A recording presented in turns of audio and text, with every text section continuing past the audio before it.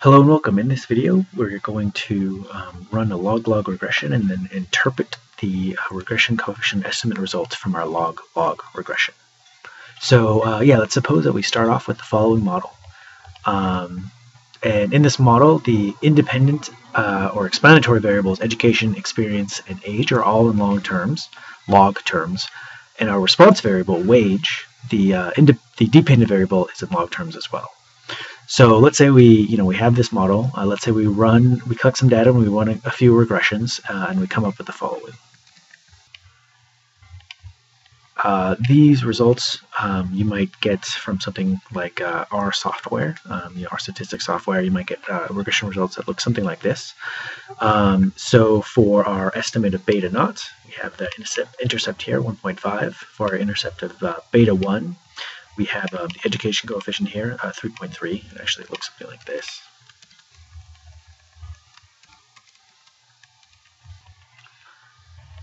Um, these I just created and you know made up myself, so I don't really get any uh, true intuition from them, um, but they're not unreasonable. So uh, let's say that our estimate um, for the beta 1 coefficient is the following 3.3 estimate for beta 2 is 1.2 and our estimate for uh, beta 3 is this uh, 0.4 how do we interpret that? You know if we had a change in education uh, you know what can we expect uh, a change in education to have an effect on uh, wages well, before we could uh, interpret our results, we need to get a few kind of assumptions out of the way. Um, the first assumption is the Gauss-Markov assumptions. Um, they just the Gauss-Markov assumptions need to hold in order for us to correctly uh, interpret these um, regression coefficient estimates.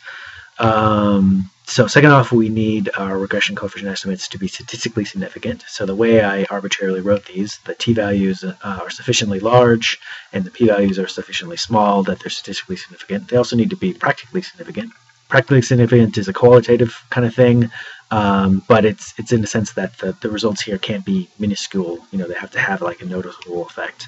Uh, and then lastly, when we interpret the uh, say beta one here, the effect of education on wages, we are going to need to hold our other variables, education experience, or experience and age. We need to hold the other variables in our multivariable um, regression. We need to hold them constant. So if we uh, can agree to these assumptions, uh, we could then uh, get to interpreting beta 1. So to correctly interpret our beta 1 coefficient, the first thing we're going to do is take the differential of our model with respect to education. So that's what I'm setting up here. Uh, what happens when we find, when we take that first derivative with respect to education? Well, since we have log wage here, uh, remember like if you have a log of x, the differential of log x is um, dx over x. So uh, when we take the first derivative of uh, log wages here, we have the change in wage divided by wages. Um, uh, similarly, over here, when we do it to log uh, beta 1 times log education, we get d-education over education times beta 1. Um, one thing to notice about this, so d-wage is just kind of like the change in wage. You know, we're curious how this change in education is going to affect the change in wage. So something interesting um, that D wage right here is the change in wage, and the wage here is um, the, the base level of wages. So D wage over D wage, sorry, D wage over wage, that is the change in wages in percent.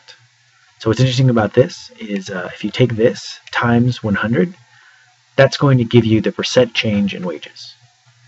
So this, the percent change in wages is a, a useful um, statistic that we could use to interpret our results. So the next step here, we're going to times both sides by 100, so that we have 100 times d wage over wage, and we have 100 times the change in education divided by education. So reinterpreting what those are, so 100 times d wage over wage, that is uh, equivalent to the percent change in wages. So reinterpreting this result, we now have the percent change in wages is equal to the percent change in education times our beta 1 coefficient. Okay, so we did a little math, but what exactly does that mean? How do we interpret the value of beta 1 that we got here? How do we interpret this 3.3? So what this tells us is that if we increase education by 1%, we can expect wages to increase by beta 1%. Since beta 1 is 3.3, if we increase education by 1%, then we expect wages to increase by 3.3%. Simple as that. So this beta 1 term here is the partial elasticity. Um, a way to interpret it is it's the percent change in wages given a percent change in education, holding all everything else constant. Cool, so hopefully that was helpful. Uh, if it was, be sure to give the video a thumbs up. Um, and let me know if you have any questions, and thanks and have a good day. Bye.